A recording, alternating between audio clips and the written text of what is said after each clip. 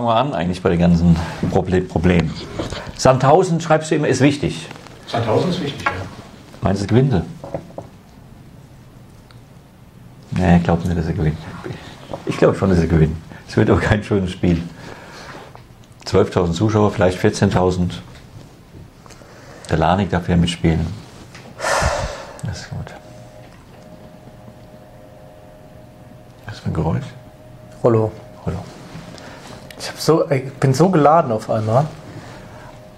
Aber jetzt fangen wir die Diskussion nicht nochmal an mit irgendwelchen hergelaufenen Fans, dass der Trainer weg soll und das alles. Ja, aber das, was willst du denn sprechen? ich würde über die Lösungsmöglichkeiten sprechen, wie man dann da wieder rauskommt. Ich habe ja meine Theorie ja schon des Öfteren im kleinen Kreis dargelegt. Du hast eine Theorie? Ja. Das ist so, eine, so ein Schwachsinn. Nur. Wer wirklich ernsthaft immer nur auf den Trainer gehen kann. Guckst du mich echt? Nur immer Trainer weg, Trainer weg, Trainer weg, Trainer weg. Meine Güte, das ist ja wie, also die, die sind alle nicht mehr ganz dicht. Wirklich jetzt. Jetzt rede ich mich mal in Rage, so wie der andere mich da vorhin beschimpft hat. Super Ingo. Ja. Komm, wir gehen mal zur Seite. Mach weiter. Wir können abbrechen. So, bitte. Nee, Jetzt du red, musst red. es in, in der Bundesliga muss man denn dann, wenn mal ein Misserfolg da ist, sofort den Trainer rausschmeißen oder alles in Frage stellen, selbst wenn der Trainer äh, einen, guten Job macht und ein ausgewiesener Fachmann ist, muss man das machen. Nö. Doch, alle, alle, alle, alle wollen das so und dieser Irre da unten auch. Und der andere auch noch kommt da von seinem Plätzchen hervor und ja, aber es ist der einzige Standort hier, wo nach neun Spielen dann der Trainer nicht hinterfragt wird. Dein Freund Ahäuser, Ober Oberbürgermeister von Kronau Bad Vilbel. setz dich mal wieder, das sieht scheiße aus. Ja, Mann, oh Mann, oh Mann, da musst du dich echt ernsthaft dann um die Uhrzeit dann mit so einem Mist befassen. Und auch alle Schauer immer, Trainer raus, konzeptlos. Ach, meine Güte, geht mir das auf den Sack. Ach. Echt wahr. hast du aber gut verborgen. Gut, dass du es mal gesagt hast jetzt.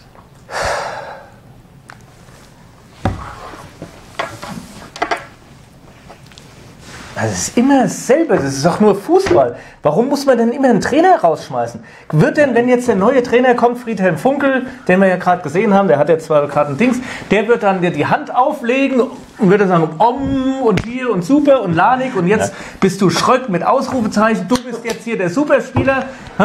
der Superschröck. Und dann wird alles laufen, dann würden sie 4-0 gegen Hoffenheim gewinnen und 6-0 in, in, wo spielen sie dann? Leverkusen oder was weiß ich wo. Leverkusen. Das wird dann alles wieder von alleine gehen. Die, die, die Verletzten, die kämen natürlich, die würden natürlich die Krücken wegwerfen Nein. und kämen angesprungen. hätte es ja erst gar nicht gegeben. Ja, stimmt. Jetzt Naja, trainieren jetzt- sie auch falsch. Die ganzen, ganzen, äh, ich- ganzen Verletzungen jetzt- sind ja jetzt auch alle. Jetzt wegen- kommen wir wieder runter. Es hat ja nun wirklich, es ist halt auch für völlig verkehrt, jetzt darüber, darüber na- nachzudenken, den Trainer zu wechseln. Aber in der Tat gibt es ja in der Geschichte der Bundesliga schon den einen oder anderen Fall, in dem ein Trainerwechsel ja sinnvoll war. Ja, Nürnberg zum Beispiel. Nürnberg zum Beispiel nicht, aber zum Beispiel Hamburg. Wenn das immer so einfach wäre, wenn man es immer so Ja, einfach aber der Fink hat doch, das hat doch jeder gesehen, dass, das, der, der, der, dass der Ja. nichts kann. Ja? Ich geb also, dir- da, also, also, okay, okay. Ich geb dir- Nein, du nein, hast ja nein, recht. nein, ja, nein. alle, alle Schauer Nein, haben recht. nein, nein, alle. Leute haben recht. Warte mal ganz kurz. Wenn man aber doch dann zu dem Punkt kommt und sagt, okay, der Trainer macht das und das und das und das falsch. Der hat keinen Bock mehr, hat keine Einstellung, Genau, kommt zu spät, er lebt äh, äh, Ja. Schlampigkeit vor, er stellt falsch auf, was weiß ich was. Dann- ich, dann, dann ist das ja auch in Ordnung. Das war ja auch vor zwei Jahren so, da ist es viel zu spät passiert dann. Ähm, guck dir Bremen an. Neuen Trainer, genau das Gleiche. Das wäre hier auch alles genau das Gleiche. Das Einzige, und da bleibe ich dabei 100%, was du denen vorwerfen kannst, der sportlichen Leitung, Trainer und Manager, ist das, was sie eingekauft haben. Das, was sie letztes Jahr richtig gemacht haben, haben sie dieses Jahr im Prinzip falsch gemacht. Ja, vielleicht war es auch nicht mehr so leicht, es ist jetzt auch egal, ich will, ist auch jetzt, äh, ja, aber, hinlänglich, hinlänglich. Ja, genau. Ja, ja. so. Guck, Dann ist aber die Schlussfolgerung daraus, du hältst am Trainer fest Na und musst klar. in der Winterpause nachlegen. Winterpause nachlegen ist auch Quatsch. Nein, ich, will- jetzt Ja, okay, jetzt kann mach mal, ich will nur noch sagen, warum lösen. Winter, du kannst gleich ganz kurz, ich, dann bin ich auch fertig, ich habe mich auch jetzt da schön daneben genommen, ist egal, aber ist mir auch wurscht. In der Winterpause kannst du nicht nachlegen. Sag mir mal die letzten, die was gebracht haben in der Winterpause. Naja, hat der Brunkel gesagt, Wasowski und Amanatidis. Jones hat er gesagt. Oder der Jones, ja. ja. Gut, dann geht noch weiter zurück und sagt Amanatidis, ausgeliehen von Stuttgart damals. Der glaub ich. kein, der kein. Okay, ja. Es ist aber schon, es sind die letzten zehn Jahre, muss es So, okay. Ja. dann nimm mal, nimm mal die letzten vier Jahre, nimm mal die letzten fünf, sechs. Wird's Ja? eng. Ja. Wird's eng. So, dann haben wir, sind wir schon bei Mancios. Mal auf zu knixen da. Rum. ja, trotzdem, wir sind es dann, wie wenn wir die Uhr auf, auf, auf äh, Ich habe die Mikros jetzt hier, das ist nicht so schlimm. Mancios und Quoike und, und was weiß ich was. Ja? Das heißt, Winter werden sie was machen, bin ich mir auch sicher. Bestimmt nicht hinten, sondern vorne. Innenverteidigung, hat der Bruno gesagt. Ja. Aber du wirst da nichts kriegen. Oder du wirst mit einer hohen Wahrscheinlichkeit wirst du kaum jemanden kriegen, der dir weiterhilft. Okay, sie haben Lakic bekommen sogar, muss man sagen. Wenn sie den nicht bekommen hätten, hätten sie jetzt die, die Probleme nicht. Also im Grunde ist Lakic schuld. Der die zwei Tore in Hamburg nicht geschossen hätten, wären sie Achter geworden. ja.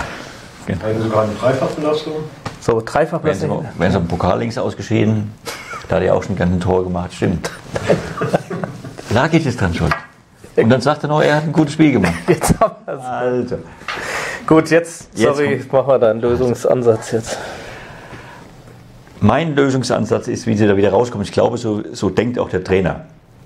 Diese Mannschaft Aber der braucht. Trainer ist, ist ja eine flach. Nein, ist, ist, nein, ist keine Flachpfeife. Das sagt er nur. kein Konzept. ich sag, sagen ja nur diese hergelaufen aus der Lokalredaktion. kein Konzept, kein, keine, keine Ahnung, äh, kein Plan, Falsche Auswechslung. genau. Ja. Kein, kein Mittel gegen die späten Tore. Also Falsche Auswechslung. eine, total, eine totale Niete. Ja? Was, das, durchgespielt, das- einschließlich Backer dort. dass keiner sieht, ja? dass keiner sieht, dass Schröck, Kempf, Lanik, dass die einfach nicht gut genug sind, um eben in der Bundesliga auf einem Platz zu stehen über 15, sagen wir mal. Die sind nicht gut genug. Wer das nicht sieht, tut mir leid, dann ist mir auch egal. Komm. Ja, ja, ich meine, mit Auswechslung brauchen wir nicht zu kommen. Wie gesagt, er hat sie ja alle durch. Aus dem Kader hat er jetzt wirklich fast jeder gespielt. Nee, Soll jeder. mal einer nochmal sagen, Na gut. Kempf spielen lassen. Ja. Also um zum dritten Mal auf, mal Lösung, Ja. oder auf die Lösung, wie man da, da rauskommt. Der hat dir gesagt, und das stimmt wohl ganz offensichtlich, diese Mannschaft braucht Training, regelmäßiges Training und eine Woche Vorbereitung auf einen, auf einen, Ja. auf einen Gegner. Deswegen hat es gegen Schalke auch relativ gut geklappt. Ich glaube, der Plan so, das irgendwie durchlavieren bis zur, bis zur Winterpause, halbwegs vielleicht zwei, drei, vier Pünktchen noch zu holen und dann die Winterpause nutzen, die Mannschaft neu aufzustellen. Und dann hat er ja, geht, wann geht die Saison los? 20. Januar. Und am 20. Februar ist erst das erste Europacup-Spiel. Dass er in der Zeit, in der Zeit die Mannschaft relativ gezielt auf diese entscheidenden Spiele vorbereitet. Und da werden sie, Aber in der da, werden sie, da haben sie, da haben sie Spiele gegen- daheim gegen Berlin, daheim gegen Braunschweig, gegen Nürnberg, alles was du schlagen kannst. Daheim gegen Nürnberg. Nürnberg nicht. Oder in Nürnberg, aber ist egal. Aber du spielst in Nürnberg, aber du hast hier Nee, Braunschweig. Nee, nee, Nürnberg später. Du hast Bayern und du hast Dortmund noch. Auswärts. Gewinnst du Auswärts. Ja, die musst du ja Ist eh wurscht. weglassen. Die verlierst du ja so spielst oder daheim so. gegen Berlin, spielst daheim gegen Braunschweig, spielst daheim gegen Bremen, spielst daheim gegen Stuttgart. Ja. So, und dann in, in Nürnberg noch zwischen. Dann Freiburg auch noch zu Hause. Und Freiburg, und Freiburg zu Hause. Also da musst du deine Punkte machen. Und in der Zeit kann er sie vorbereiten, weil da eben kein Europacup-Spiel ist. Und es sind ja im Übrigen dann ohnehin nur noch zwei, maximal vier Europacup-Spiele. Also insofern diese Zeit jetzt halbwegs äh, irgendwie überbrücken, durchlavieren und dann gezielt vorbereiten und dann werden sie da wohl auch rauskommen. Die müssen halt dieses Spiel aber gegen Bremen und Braunschweig, äh, ist gegen doch Berlin und Braunschweig klar, gewinnen, ist so klar. Es muss Sonst doch jetzt auch jeder sehen, es ist nur noch, es, ich meine, das sieht er jetzt auch hier, aber es ist auch jetzt völlig unerheblich. Es, wenn die 15. sind, können sie drei Kerzen ins Fenster stellen Ja. am Ende. Ja. Die können froh sein, dass die drei oder- dass Nürnberg wahrscheinlich und Braunschweig sicherlich äh, Schlechter sind. Ja. schlechter sind. Das glaube ich immer noch. Freiburg bin ich mir nicht mal so sicher. Ja? Ja. Und dann musste der, hat Peppi recht, im Grunde musste versuchen, Hoffenheim noch mit reinzuziehen. Und das Bremen, die Ja, haben, Bremen, ja. Bremen hat ein sauschweres Programm jetzt, Jetzt- dass, die, jetzt dass, die, noch, Spiele, dass ja. die noch runterkommen. Aber das ist im Das bringt Grunde, dir aber nur was, wenn du selbst auch Punkte machst. Naja. das ist doch sowieso klar. Und es, es, wird jetzt, es wird auch so schon schwer. Es wird auch schwer, wenn sie, ich weiß auch, ich habe ich neulich schon mal gesagt, ich weiß auch nicht, wie alle darauf kommen, dass sie jetzt noch sechs Punkte holen. Oder nicht alle, aber, oder, Ja. also du, die, du gewinnst jetzt von 14 Spielen oder 15, 15, ja. Gewinnst du zwei. Aber von den letzten drei sollst du auch zwei gewinnen. Also das, Na gut, ich, war, ich, war, ich war jetzt in Nein. Mathe nicht die Riesenleuchte, aber das erschließt sich mir nicht so ganz. Doch, das ist völlig falsch. Okay. Je länger die Phase der Niederlage Ja. dauert, desto höher ist die Wahrscheinlichkeit, dass du gewinnst. Du gewinnst eins mal. Ja. Ja, und du kannst auch das zweite gewinnen, wenn du schon eins gewinnst. Das, das, das, das ist, das ist, Aber das ist, nein, es regnet heute, wird es morgen auch regnen. Gut, aber da können sie auch das dritte auch noch gewinnen. Ja, na gut, das Leverkusen, das ist halt von der Qualität her ein bisschen schwierig. Also natürlich können sie jetzt zwei gewinnen. Das, das kannst du nicht festmachen, recht, recht Nein, nicht. festmachen kannst Aber, du die, aber nicht. Es spricht jetzt nicht so rasend viel dafür, dass sie die Hoffenheimer aus dem Stadion schießen. Ich weiß, es ist, ich finde es auch ganz, ich finde diese Situation so logisch, dass, es, dass ich mich wirklich wundere, dass viele Leute dann so fassungslos mit dieser Misere jetzt umgehen. Wir haben gestern, als wir die Aufstellung gesehen haben, haben wir gesagt, Damit kannst du nicht gewinnen. damit kannst du nicht gewinnen. Kannst nicht gewinnen. Und dann hast du dann natürlich noch, noch wirklich das Problem gehabt, es ist auch so, die haben halt, und das hat Fee auch gewusst, die, dass sie ein massives Problem dann mit den Standards kriegen. Ja. Ja? Aber je, ich glaube, die sind auch taub. Ja? Je, je häufiger du denen sagst, keine Fouls rund um diese Zone, Die Box, wie man das bum, bum, bum, bum, bum, die liegen alle nur rum. Der Schiedsrichter die bleibt haben, auch die haben aber auch, die haben auch leicht, die haben leicht Sage ich so, ja. Und dann hast du nur noch verlierst, verlierst jeden Kopfball. Die anderen bekommen dadurch immer mehr Sicherheit. Ja. Hast noch einen Schiedsrichter, der gegen dich pfeift und jetzt ohne, ohne diese Brille. Aber ja, allein auch, dass man diese ganzen Fakten einfach dann ausblendet. Ja. Der Schwegler kriegt so einen Stoß im Laufen. Ja. So. Bringt dir nur nichts. Ja. Nee, es bringt na- natürlich nichts, ja? Und dann kommen die anderen Sachen wieder dazu. Warum geht der Lanik dahin? Ich habe das mir jetzt noch gestern Nacht, nachdem ich meinen Zug verpasst hat. ja, vielleicht war der im, im Dings nebenher gelaufen. Warte mal. Das war noch nicht mal. Es war im Grunde, es war keine gelbe Karte. Wenn du es dir nochmal in Ruhe anguckst, das zweite Foul von Lanik war keine gelbe Karte. Nur wenn du so hingehst. Ja. Aber da hat Stefan recht. Ja. Wahrscheinlich, also hat er Ja, diesem, ja, so, ja.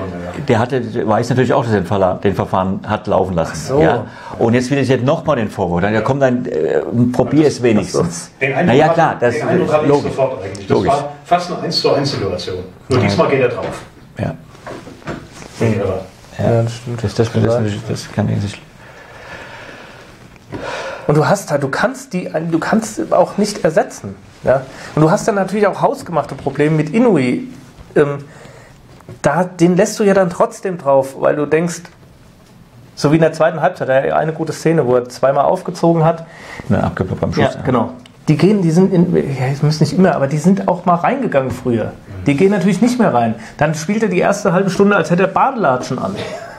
Ja, es, und trotzdem hast du immer das Gefühl von, in, von in, diesen, in dieser Mannschaft könnte womöglich dieser, da könnte noch mal so ein, irgendwas passieren bei Inui. Das hast du bei anderen ja überhaupt nicht mehr. Ja? Im Übrigen hat der Roselu das richtig gut gemacht, den Ball zu dem Schwegler. Hast du das nochmal gesehen? Nee. wo es Elf, äh, den Elfmeter nicht gab. ja, das war gut. Banetta und direkt so zack weiter. Der- Auch direkt, äh, das machen sie ja auch nicht mehr. Direkt spielen. Schnell und direkt. Nur so kommen die zu Chancen. Das machen sie nicht mehr. Ja? Hat, ne, hat auch wieder Gründe. Und, und ich finde auch, äh, dass Baccalords dann den besten Pass seit sechs Spielen macht. Das sagt doch auch alles. Ja. Nein, äh, äh, es kam, haben ja heute wieder ähm, Andersen trainiert, Celozzi trainiert und Russ trainiert. Leicht. Also da könnte vielleicht der eine oder andere zurückkommen. Aber so, es, es müssen, ich sagte ja immer, es müssen welche zurückkommen, sonst macht es keinen Sinn. Mit der man, so steigst du ab. Da gibt es keinen, keinen Vertun. Ja.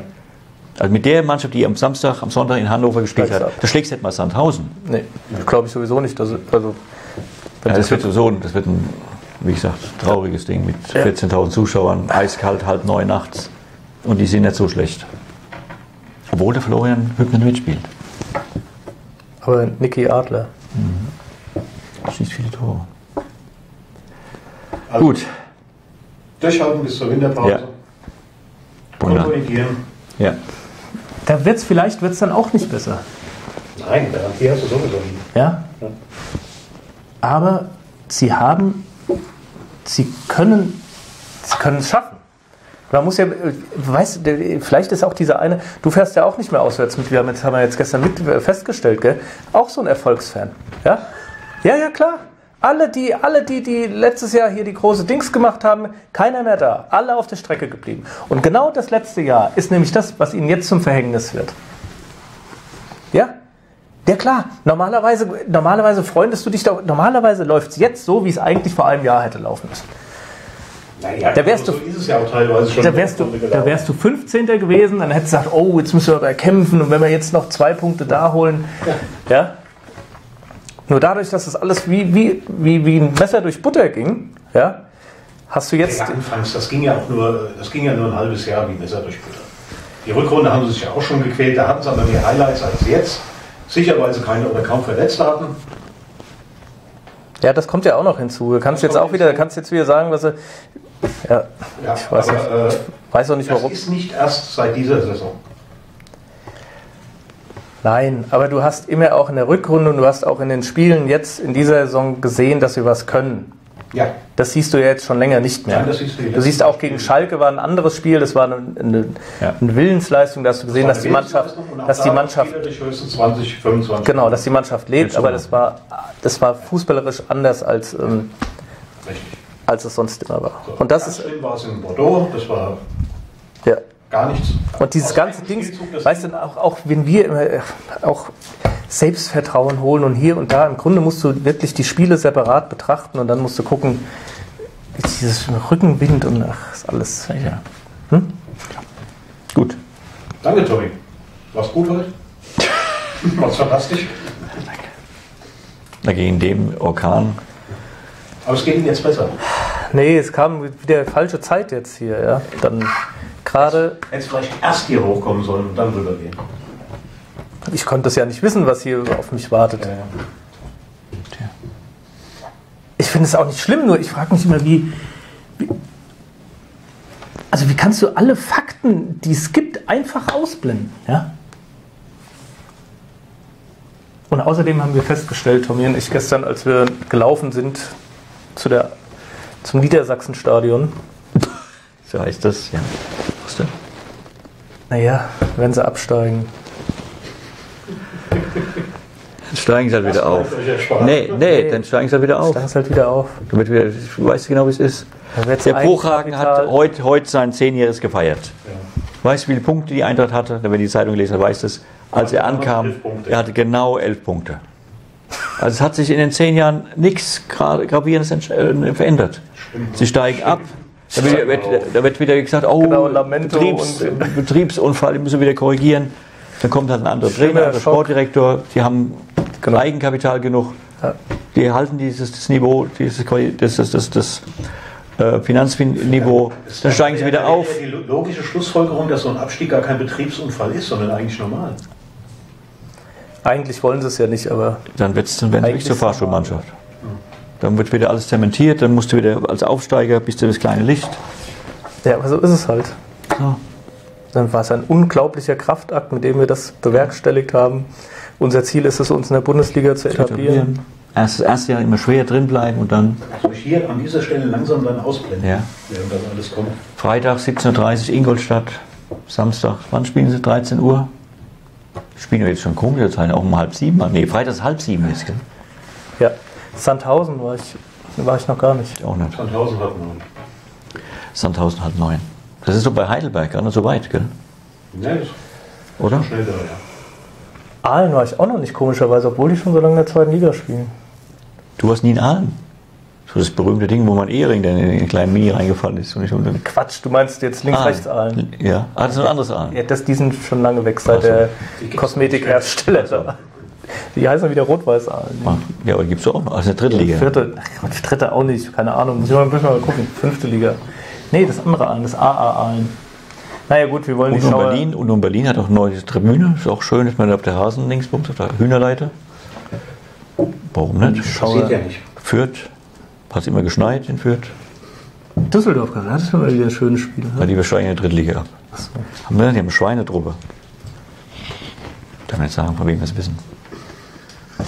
Naja, Gut. dann tschüss. Aber Derby gegen FSV.